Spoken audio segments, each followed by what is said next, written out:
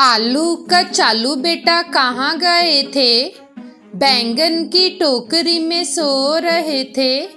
बैंगन ने लात मारी रो रहे थे। मम्मी ने प्यार किया, हंस रहे थे। पापा ने पैसे दिए, नाच रहे थे। भैया ने लड्डू दिए